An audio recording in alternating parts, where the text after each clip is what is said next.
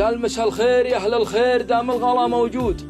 مسا الطيب يا أهل الطيب دام الوفا باقي.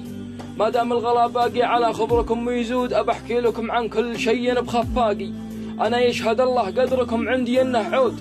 والأرضى على واحد من أحبابي إفراقي. ومهما حصل ما بيننا من زعل وصدود ما يعني خلاص إنا عداوة ونفاقي صحيح الزعل حاصل ولكننا بنعود. إلى أول زود من أول نجدد وثاقي. أنا لي طلب والكل صاحب وغمر وعود. من قبل رمضان يشيع نوره وبراقي. ما دام التسامح يرضي الواحد المعبود. نطيب خواطر بعضنا ونترك الباقي. نسامح بعضنا ونترك الحق والمنقود. وننسى زمان فات ما يرحم الهاقي. عسى الله يسامحكم من القلب يا أهل الجود. وعسى الله يسامحنا ومن داخل أعماقي. مبارك عليكم شهركم يا عساه يعود. عليكم بخير وعافية بال وحداقي